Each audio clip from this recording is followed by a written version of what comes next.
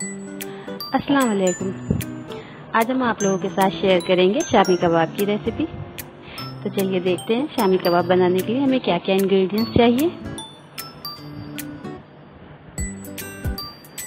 तो यहाँ पर हमने अदरक लहसुन लिया है और एक स्मॉल साइज़ की प्याज लिए मटन मिन्स लिया है 400 ग्राम।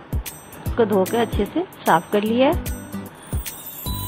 अब हम इसमें लेंगे गरम मसाले। गरम मसालों में हमने सूखी लाल मिर्च, काली मिर्च जावित्री, लौंग, इलायची, दालचीनी, तेज़पत्ता और एक चम्मच ज़ीरा लिया है। इन सब मसालों को इसी कीमे में ऐड करेंगे। एक चम्मच हमने यहाँ पे पिसी हुई धनिया पाउडर लिए। नमक लिया है एज पर टेस्ट अदरक लहसन में हमने यहाँ पे मीडियम साइज़ की अदरक ली है, लहसुन की 10-15 कली ली है और एक स्मॉल साइज़ की प्याज है। यहाँ पे हमने एक कप दाल को पहले से ही धोकर, भिगो के अच्छे से रख लिया है।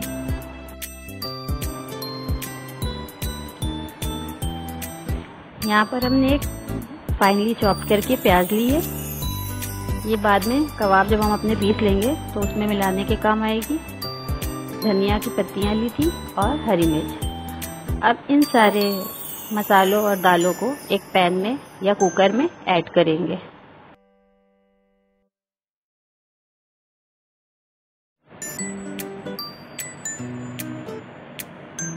सारे मसाले और कीमे को ऐड करने के बाद इसको ढककर धीमी आँच पर तीन से चार विसिल होने तक पकाएँगे। अगर हम पैन में बना रहे हैं तो हम पैन में भी 10 से 15 मिनट तक उसको ढककर बनाएँगे। 10 से 15 मिनट में भीगी हुई दाल है और कीमा अच्छे से गल जाता है और तीन से चार सीटी में भी अच्छे से ही पक जाता है।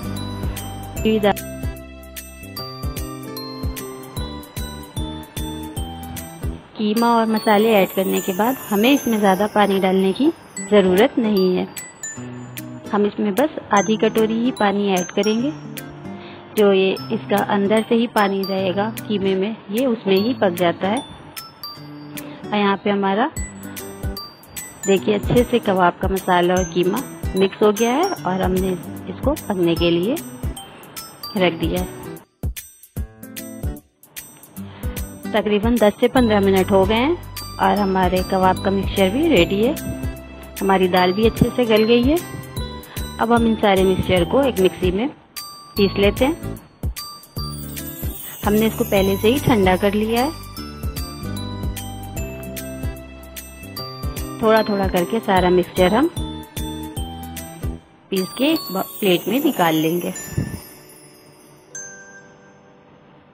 हम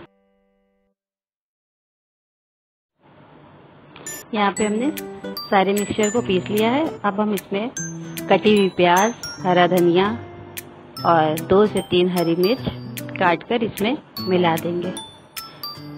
ये सारा मिक्सचर ऐड करके, अच्छे से इसको मिक्स करके, तब हम इसके कबाब बनाएँगे।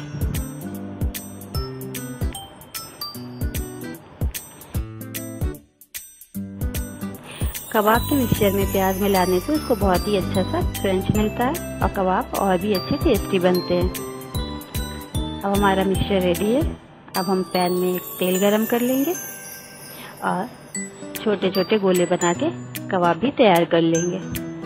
जब सारे कबाब हमारे तैयार हो जाएँगे, तब हम इन्हें शैलो फ्राई करेंगे। कबाब को अच्छे से हाथों से प्रेस करके ही बनाना है।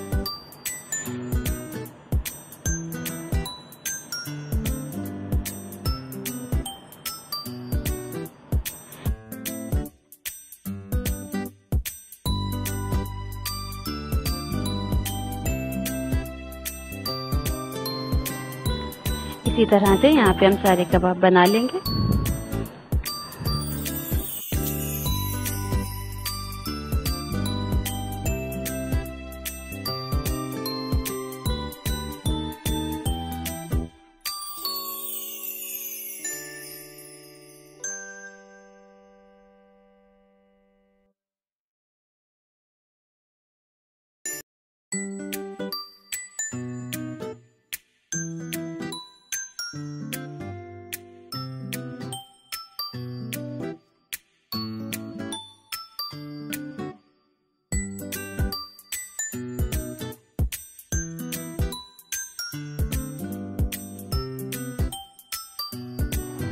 अब हमारे सारे कबाब बन गए हैं।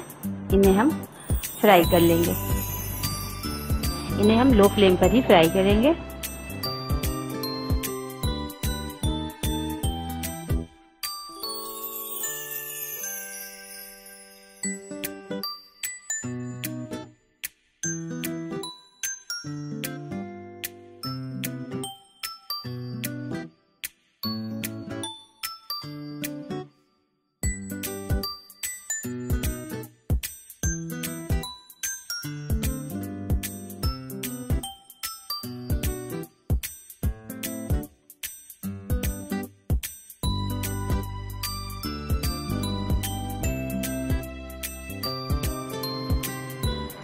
सारे कबाब अब फ्राई हो गए हैं।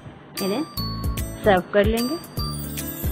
देखिए कितने अच्छे से कबाब फ्राई हुए हैं।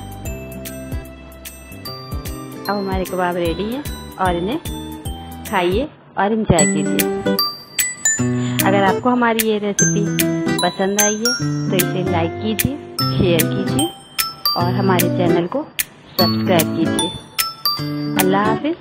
Thank you